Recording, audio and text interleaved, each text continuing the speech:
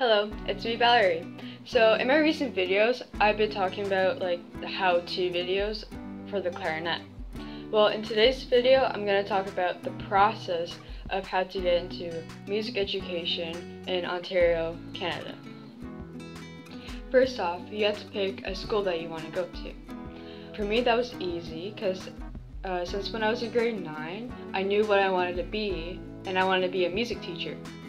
So my schools had university fairs, so I went to them. Um, and I was looking at universities that had music ed, not just music.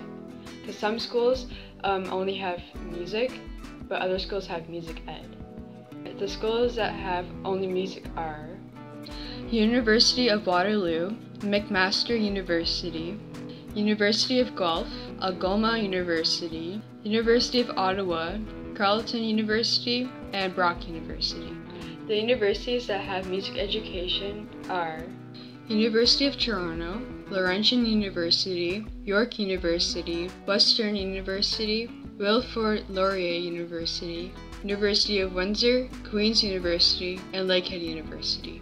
Some of these schools that have music education are six-year programs, where you have to do four years of a BA and then apply for education program after like U of T and Western. The others have a concurrent program where you have to complete both programs in five years, like Queen's and Laurentian.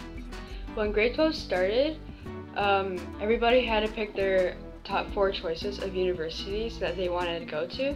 So I picked my four choices, and they were Laurentian, York, Windsor, and Laurier.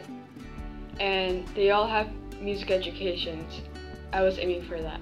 Next, I had to pay my audition fees and wait for the universities to contact me to set up my audition date. These usually happen in February or March.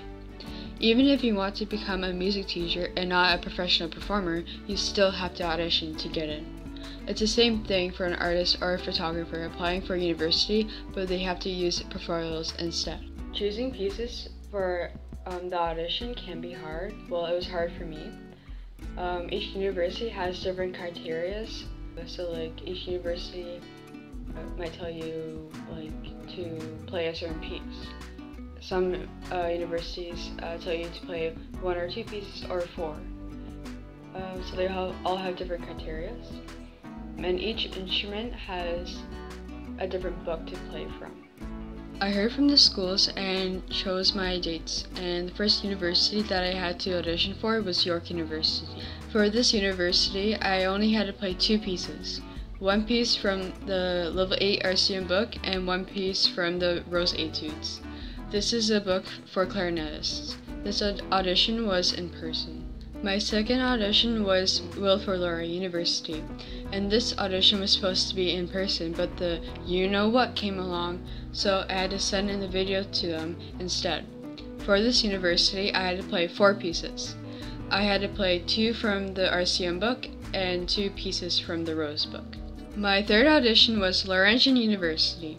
For this university, I just used the same video that I did for my Laurier audition because the university was too far from where I live. I also did that for my Windsor application too. I don't mention all the information on how to get into music education, but if you do your own research, I think you'll be all set. And yeah, stay safe and stay happy. Bye.